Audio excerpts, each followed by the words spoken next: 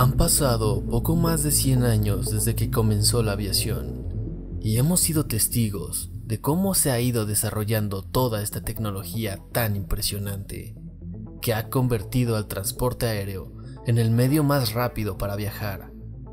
Hemos conquistado uno de los mayores sueños de la humanidad, volar, pero también hemos presenciado las más crudas lecciones que hasta ahora nos dejan un amargo sabor pero nos recuerdan que somos humanos y no estamos exentos de cometer errores. Si los cielos son más seguros hoy en día, es gracias al aprendizaje de varios accidentes que se han dado a lo largo de este tiempo. Hoy te presento los 5 peores accidentes de la historia de la aviación y las lecciones que estos nos dejaron para la posteridad.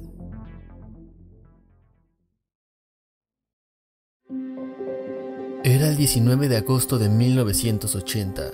La aeronave, un Lockheed 3 Star, partía desde Riyadh, Pakistán, con destino al aeropuerto de Jeddah, en Arabia Saudita.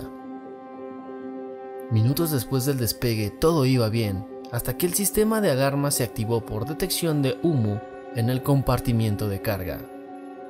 El ingeniero de vuelo no logra interpretar el procedimiento para esta situación por lo que se ve en la necesidad de corroborar visualmente el incendio. Una vez comprobado, el capitán pide que vuelva a verificar, pues las alarmas se habían apagado. Una vez que confirma que hay humo en la cabina de pasajeros, se decide a regresar al aeropuerto de Riyadh. La aeronave logra aterrizar, pero el incendio había quemado el cableado de los motores imposibilitando su apagado, provocando que el cuerpo de bomberos aguardara antes de proceder a la ayuda en la evacuación. Sin embargo, poco antes de la media hora, la tripulación y los pasajeros, que ya estaban en tierra, no salían, pero los motores ya se habían apagado. Al intervenir los bomberos y lograr abrir la puerta, el oxígeno avivó el incendio dentro de la aeronave dificultando así el rescate. Finalmente, la aeronave fue consumida por las llamas, dejando al personal de emergencia sin nada que hacer, ya que las 301 personas a bordo habían fallecido. Como causantes principales se encuentra el factor humano, pues la investigación arrojó que la dificultad del ingeniero de vuelo para encontrar el procedimiento de emergencia del manual se debía a que éste era disléxico. También se descubrieron deficiencias en la formación de ambos pilotos, lo que podría explicar el poco sentido de emergencia de estos, empeorando una situación que en apariencia podía ser controlada con relativa facilidad. Aún se desconoce la causa del incendio, pero al ver que éste consumió parte del suelo y luego de la cabina, al pasar a ser un fuego metálico, el agente extintor de los extintores portátiles de cabina no pudieron detenerlo, quedando una botella cerca de donde se originó el incendio como evidencia del fallido intento por apagarlo. Gracias a la investigación de la NTSB, se determinó que debían usarse extintores de halometano para este tipo de situaciones, además de dar recomendaciones para agilizar los procesos de evacuación.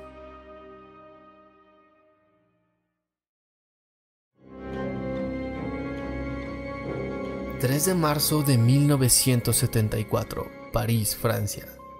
Todo transcurría con normalidad. Una aeronave DC-10 trimotor se disponía a despegar con destino a Londres, Inglaterra. Previo a su despegue y como clave de lo que pasaría después, uno de los empleados generales reportó problemas para cerrar una de las compuertas del compartimiento de carga, aunque al final logró cerrarla, dando luz verde a la salida de la aeronave.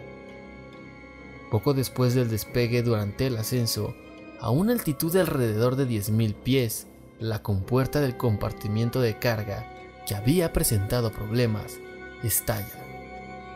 La violencia de dicho estallido fue tal que provocó el colapso del piso de esa zona y cortó las líneas de hidráulico de los controles de empenaje. Sin elevadores, la aeronave entra en picada sin posibilidad alguna de los pilotos para recuperarla, por lo que a una velocidad aproximada de 800 km por hora, el vuelo 981 se estrella en el bosque de Hermenoville, dejando 346 pérdidas. Ningún sobreviviente.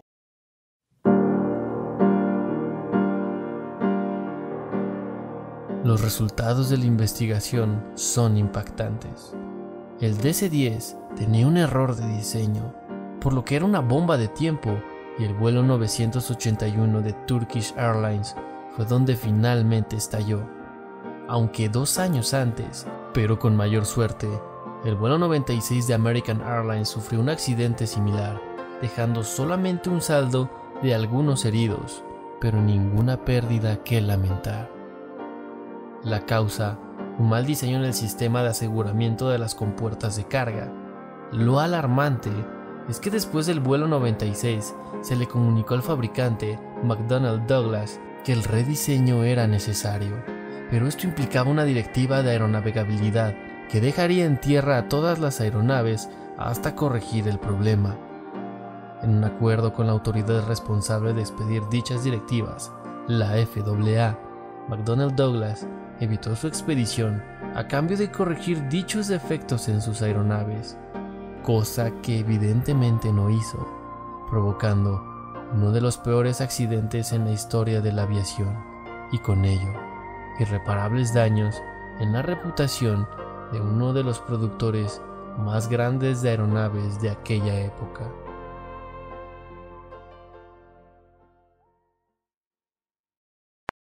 12 de noviembre de 1996. El vuelo 763 despega del Aeropuerto Internacional Indira Gandhi, Nueva Delhi. La aeronave, un Boeing 747 de Saudi Arabian Airlines con 312 personas a bordo, se dirigía a Arabia Saudita.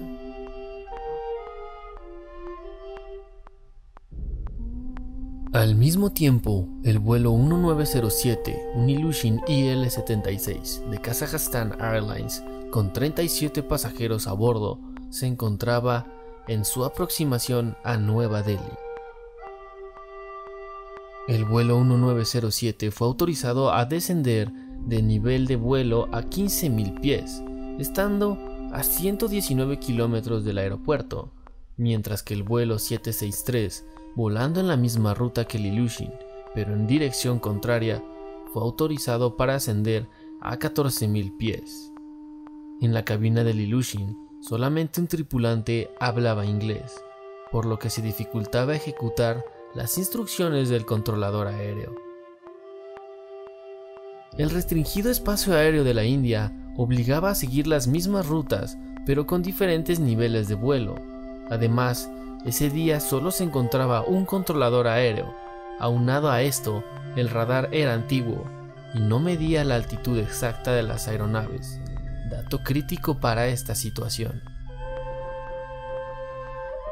Minutos después, se perdió la señal de ambas aeronaves, pero gracias a un reporte de otro avión que volaba cerca del lugar, se supo que había pasado lo impensable.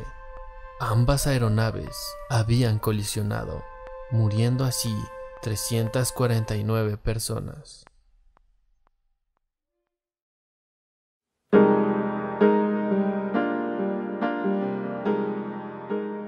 La investigación dio como resultado que la tripulación del Ilyushin interpretó malas instrucciones, descendiendo más allá de los 15.000 pies asignados, encontrándose en la trayectoria del 747, que iba ascendiendo a los 14.000 pies asignados. Por si fuera poco, la investigación también arrojó que los pilotos del Ilyushin intentaron desesperadamente ascender al divisar al 747. De no haber hecho esto, la colisión se habría evitado. Como consecuencia, se implementó equipo más moderno en el aeropuerto de Nueva Delhi y se hizo obligatorio en el espacio aéreo hindú el TICAS, Sistema de Advertencia de Colisión Aérea por sus siglas en inglés.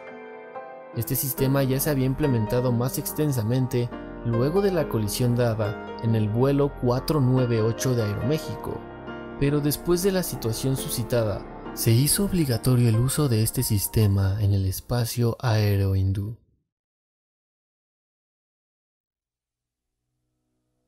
...12 de agosto de 1985... ...el vuelo 123 de Japan Airlines... ...un Boeing 747... ...se dispone a salir del aeropuerto internacional de Haneda... ...a Tokio... ...su destino sería el aeropuerto internacional de Osaka... ...en Hitami, Hyogo... A bordo viajaban 524 personas... ...una temporada vacacional muy concurrida en Japón... Eran las 18.12 cuando la aeronave despegó, un vuelo relativamente corto y el cuarto de ese día hacia ese destino.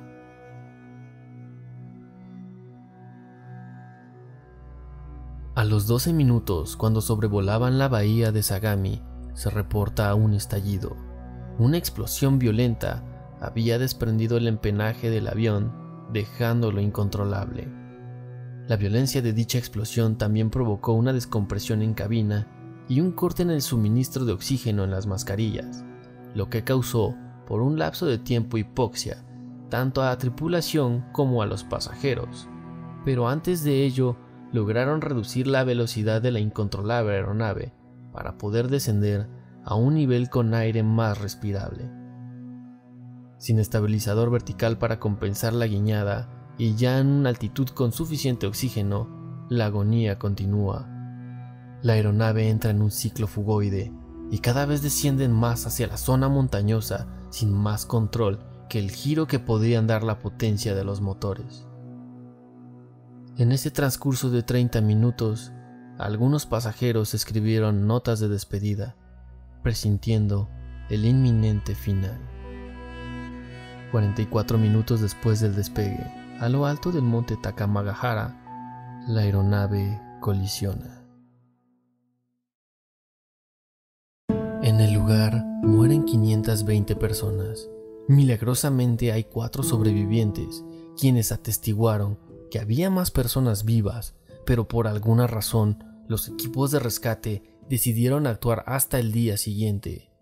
Aún no se sabe cuántas vidas podrían haberse salvado si hubiesen actuado de inmediato.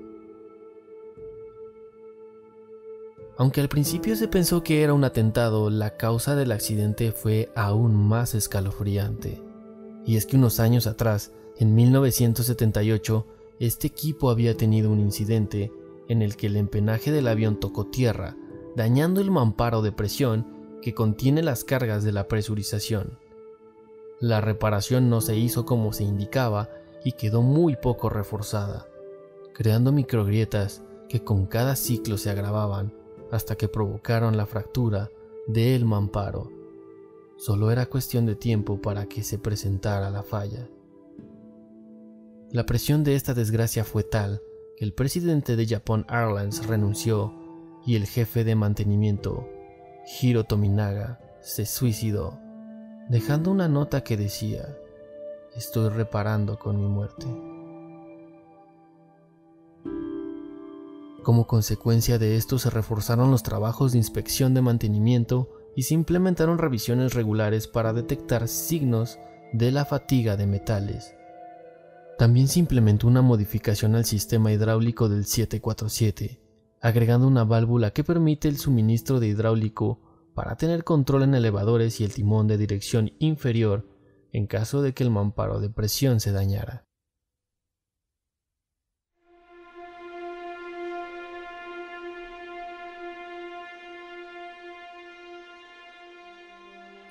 A veces el destino suele ser irónico, y es que en un intento precisamente por evitar una desgracia, se presentaron la combinación de errores humanos, fallas técnicas y condiciones climatológicas que desencadenaron el accidente más mortal en la historia de la aviación. Era domingo 27 de marzo de 1977, alrededor de las 12 de la tarde, dos aeronaves 747 el KLM 4805 que volaba desde Ámsterdam en dirección al aeropuerto de Gran Canaria en España y el vuelo 1736 de Panam que volaba desde Nueva York de igual modo al aeropuerto de Gran Canaria fueron desviados debido a la detonación de una bomba en dicho aeropuerto, por lo que se reasignaron al pequeño aeropuerto de Tenerife, que solo disponía de una pista, y por ser domingo, solo dos controladores aéreos estaban laborando. Cerca del aeropuerto se ubica el monte Taide, que puede provocar cambios repentinos en el clima.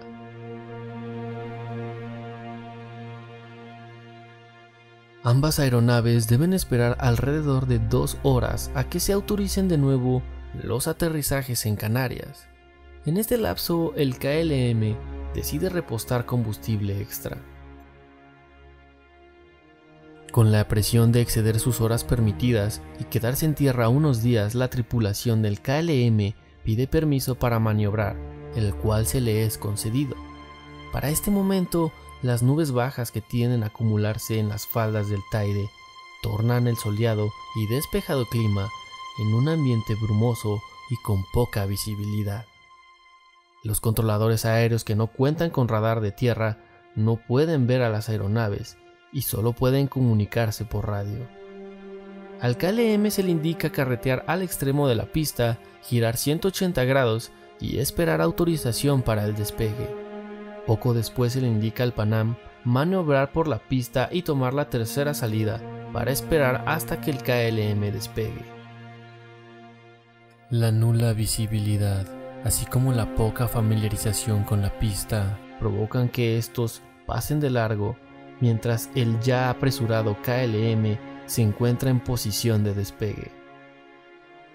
Al estar ambas aeronaves en comunicación con torre, las señales simultáneas causan interferencias que no dejan oír claramente las instrucciones.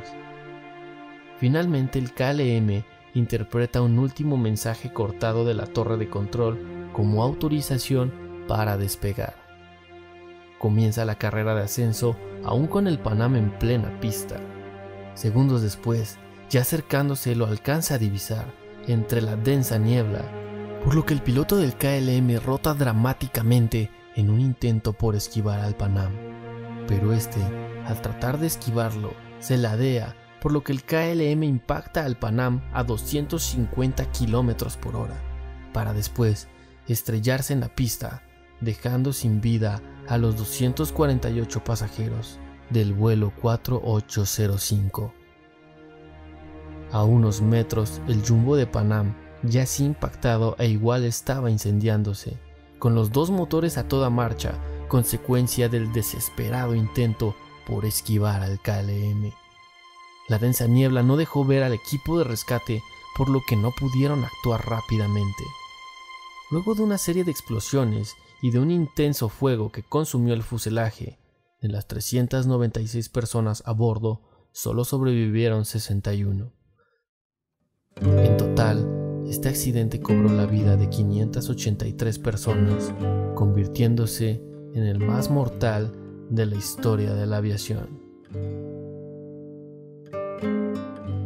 Al final de la investigación, se determinó que el giro que le pidió Torre de Control al Panam era prácticamente imposible para un equipo de esas dimensiones, por lo que decidieron seguir hasta la cuarta salida. De igual forma, la presión sobre todo del capitán del KLM lo hicieron actuar impulsivamente bajo condiciones climatológicas adversas, sin confirmar la autorización de torre de control, quienes estaban en comunicaciones simultáneas con ambas aeronaves, generando interferencias donde solo se lograría escuchar un de acuerdo que el capitán del KLM interpretó como la autorización para el despegue. Al final también se comprobó que de no haber repostado, el vuelo 4805 podría haber librado al Panam, pero el peso extra imposibilitó que esto sucediera. Como consecuencia se construyó tiempo después un aeropuerto nuevo en Tenerife, a nivel del mar, y pocas veces llega a presentar niebla. En cuanto al anterior, sigue operando, pero ya con radar de tierra. Actualmente hay sistemas que bloquean las comunicaciones de radio VHF cuando se realizan simultáneamente y evitan así las interferencias que causaron la mala interpretación de las instrucciones de torre de control.